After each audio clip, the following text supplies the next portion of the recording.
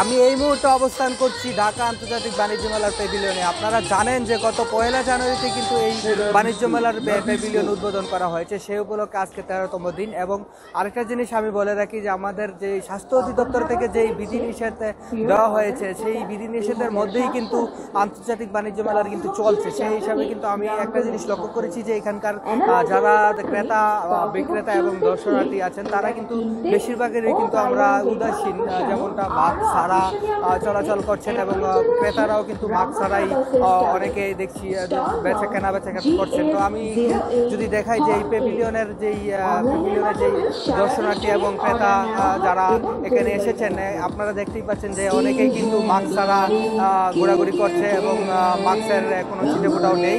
তো করোনা কিন্তু যেভাবে নতুন ভেরিয়েন্ট যে অমিক্রণ সেটা কিন্তু যেভাবে যে হারে বেড়ে চলছে সেই হিসাবে কিন্তু আমাদের সতর্কতা এবং আমাদের নিজস্ব সতর্কতাটা জরুরি, সেটাই কিন্তু এই বাণিজ্য মেলার কিন্তু যারা দায়িত্বরত আছেন, তারা কিন্তু মাইকে এবং লিখে লিখেও কিন্তু অনেক জায়গায় দেওয়া হয়েছে যে সতর্কতার জন্য। কিন্তু এখানে আমি বেশিরভাগ মানুষের ভিতরেই কিন্তু আমরা লক্ষ্য করেছি যে এই মাস্ক ছাড়া এবং তারা উদাসীনতায় উদাসীনতায় লক্ষ্য করেছি।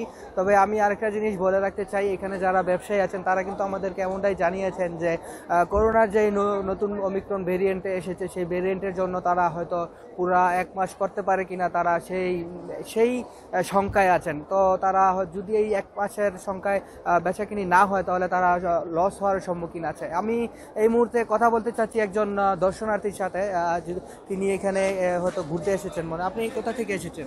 ভাই আমি ঢাকা কাকরাইল থেকে এসেছি। কাকরাইল থেকে এসেছেন এখানে ঘুরতে এসেছেন?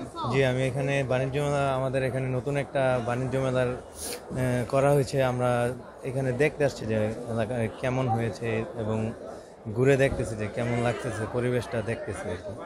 কেমন লাগল? যে এখানে কিন্তু আমরা এই যে অমিক্রন নতুন ভেরিয়েন্ট ভয়ঙ্কর একটা করোনা ভাইরাস সবসময় ভয়ঙ্কর এবং এবার নতুন করে এটার অমিক্রন ভেরিয়েন্ট আসছে।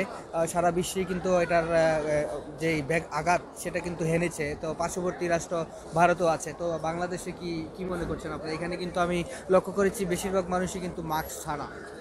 আপনার যে করোনা ভাইরাস অমিক্রনের কথা বলতেছেন সেই দিক থেকে দৃষ্টিকোণ থেকে দেখতে গেলে দেখা যাচ্ছে এখানে অবাধে মানুষ চলাফেরা করছে। তো সেই জায়গা থেকে আমাদের একটু সতর্ক হওয়া উচিত।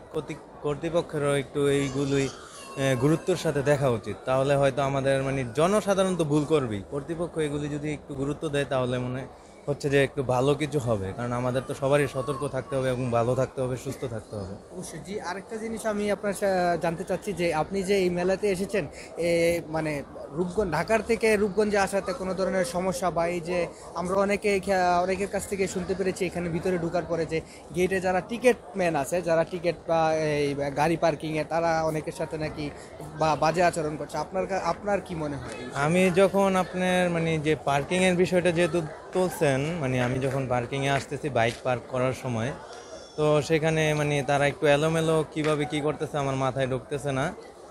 ঢাকা খুব ভালো ছিল এই সিস্টেমটা মানে তারা খুব গুরুত্বর সাথে দেখতো এবং মানে মেলার দর্শনার্থীদের খুব ভদ্র আচরণ করতো। কিন্তু এখানে কিছু পুলিশ নিজেদের মানে হয়তো তারা পুলিশেরই লোক, কিন্তু মানে তারা পুলিশ বইলা মানে তাদের একটু পাওয়ার মানে তারা মেলার মানুষের যে সার্ভিস দিতেছে জনসাধারণের, তারা সেটা ভুলে যাইতেছে। তারা তো পুলিশ মানে নিজেদের খুব পাওয়ারফুল একটা ম্যান মনে করতেছে। এই জায়গা থেকে তাদের একটা আচরণ বিধিতে আমি খুব মানে খারাপ লাগছে আর কি। আমার মনে হচ্ছে যে এটা ঠিক হচ্ছে না।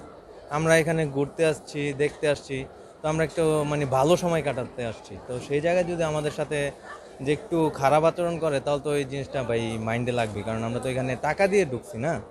কিন্তু এইটা একটা মানে খারাপ লাগল আর কি বিষয়টা। জি ধন্যবাদ.